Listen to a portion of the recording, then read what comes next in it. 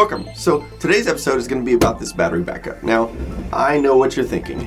Battery backups are not really all that exciting. I mean, you only get to use them like once or twice a year, uh, you know, when the power goes out. So, uh, actually, I am going to be doing some modifications to this that I think you're going to find interesting. And uh, I'm also going to tell you uh, these aren't as expensive as you think. Now, this is actually a good battery backup.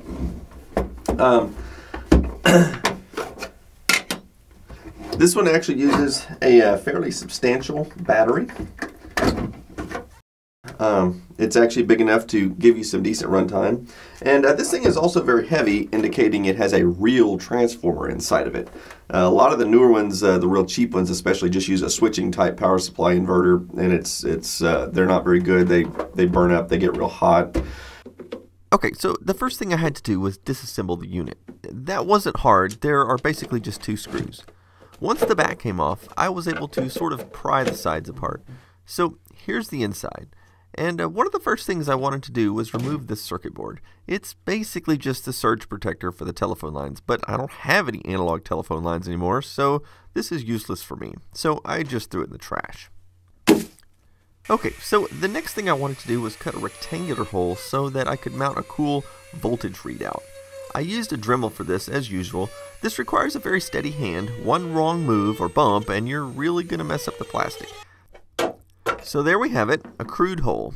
I used a file to clean it up a bit. And here's the final hole. Okay, so the next challenge was to mount one of these slide switches. And I want to mount it more or less right there.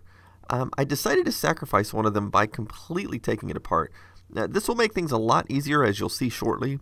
Um, so after I figured out exactly where I wanted it to go, I was able to use this piece as a template for the screw holes. Once I was finished drilling the holes, I could mount the switch from behind, kind of opposite of how it's intended to go, but this allowed me to perfectly cut out the rectangular part. Um, I started by drilling two holes, and then I used a knife to carefully cut out the rest. And here's pretty much the final result. Now I can mount the other switch that I didn't destroy from the back like it's meant to be. And you can see it works pretty well. I'll explain the purpose of this switch later. So the next thing was to go ahead and mount that LED voltage meter I was talking about. You can see the bezel snapped in nicely. All I had to do next was mount the electronics part of it.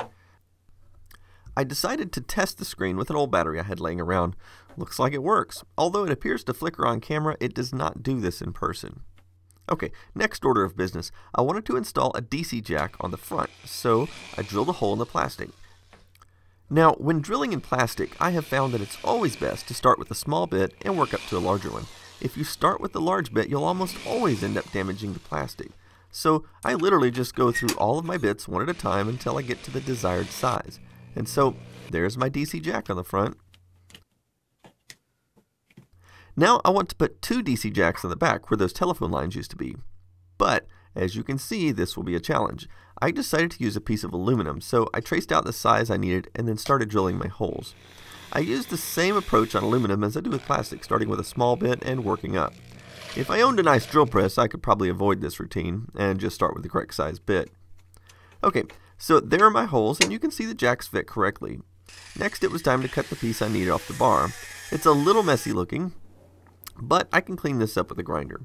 Okay, next it was time to mix up some epoxy. Once mixed, I applied it to the hole, and then I carefully pushed in my piece of aluminum. I'll have to let this set up for a while, so I'll come back to it.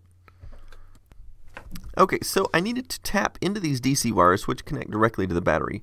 Since they don't have any slack left, I decided to just remove some insulation around the wires to tap into them. I needed to split it into four other places, so I took four wires and wrapped them around, and then I soldered them all in. Also, I should be using a red wire here, but I don't have any, so I just used this white wire, so sue me. Once I was done soldering, I wrapped them with electrical tape and then followed that up with some heat shrink. That will add some extra layer of insulation. Now, you might wonder why I took this approach, so I'll explain. I'm using 18 gauge wire, which will only support 16 amps. So if I piggybacked all of the ports like this from a single wire, here's what would happen. If I pulled 16 amps from this one port, all is good. But if I also pull 16 amps from these other two ports, then this wire down here would be pulling 48 amps and it would surely melt. So by doing it this way, it's much safer. Okay, so once my epoxy dried, I was ready to install the two DC ports on the rear of the unit. I soldered the wires in the usual way and then I followed them up with some heat shrink just to be on the safe side. Okay, all that was really left to do at this point was to reassemble everything. And of course, put the battery back inside, and I thought I'd give a quick test of the voltage display. I also took the cigarette lighter splitter and chopped off the male connector and used the two female connectors to create these two pigtails. That will basically allow me to run any standard 12 volt accessories. I can even use this USB charging device to charge any of my electronics.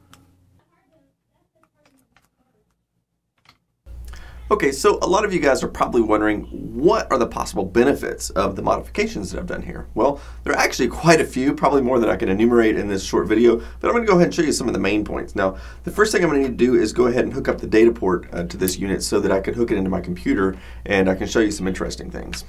All right, so if you take a look at the estimated runtime, it actually shows that it's only going to run for 64 minutes. Now, if you'll notice, there's actually nothing plugged into this unit at the moment. So it's literally going to only run 64 minutes, even when it's not powering anything.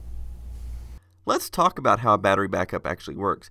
You have essentially these main parts. Now, normally the power flows directly from the wall out the back of the unit like this. And also the battery charger is powered, and periodically it comes on to keep the battery charged up. Now, when the power fails, this relay opens and the AC inverter powers up and starts providing power to the outlets. Now, let's talk about this situation. Let's say you have a battery backup and you're wanting to power something that runs off a 12 volt DC, such as this 12 volt air compressor. Well, the power is coming from a 12 volt battery, then it gets converted up to 120 volts AC. All of that happens inside the battery backup.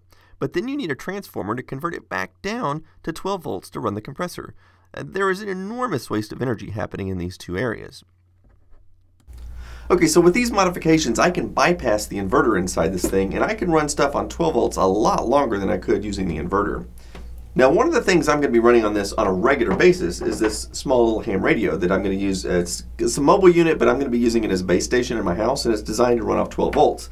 So I'm going to be running it directly off of this, and I'm actually going to be using this even if the power is not out. In other words, this is actually going to be my primary power source to run this. And the 12 volt charger inside the unit is actually going to keep the 12 volt battery powered up for me all the time in order to run this radio when I want to run it. Now, in the event that the power does actually go out, um, I can turn the unit off and power this radio directly uh, from these two ports I've added on here. And I could probably run this thing for a week straight, like constantly, uh, versus 64 minutes. Actually, be less than that because I'd be drawing current, so probably like 45 minutes that I could run it if I were trying to use the actual um, AC output ports on this thing.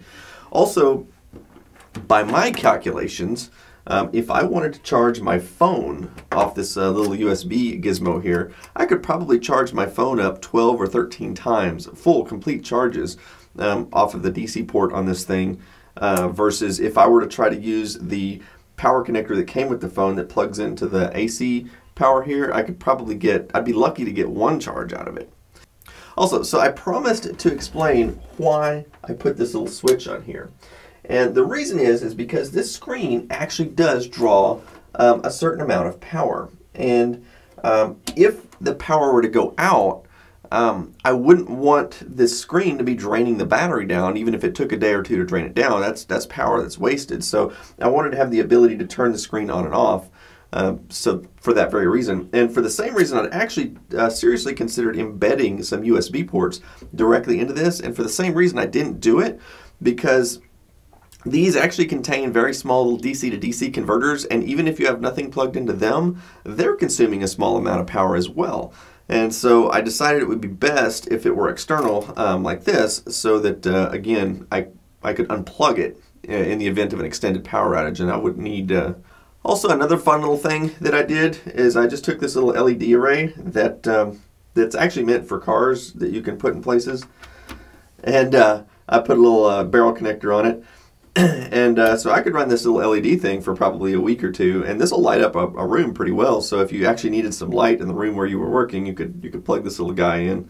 So that was kind of another little neat thing that I did.